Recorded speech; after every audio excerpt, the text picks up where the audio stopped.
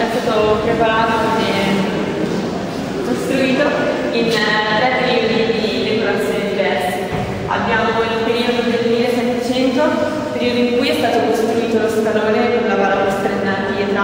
Questo balaustra in pietra ha un costo retro, poiché nel 1700 le balaustre erano di ferro battuto e invece queste in pietra, come veniva come usuale fare nel 1600.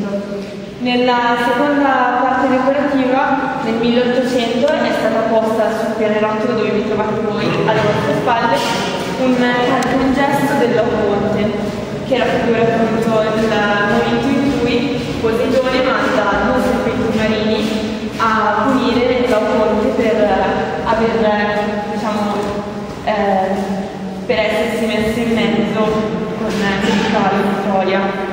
Infatti fu punito e ucciso da leoni marini con i suoi figli. Nel terzo periodo, che va dal 1800 al 1900 verso la fine dell'Ottocento, sono state sistemate le, le murature, cioè è stata decorata la, la parte muraria ed è stata decorata la cupola. Infatti nella cupola potete osservare una raffigurazione di Apollo e della dea Minerva e della dea Medona. La raffigurazione del mondo è collegata comunque con tutta la storia della villa, infatti parliamo di volte di villa.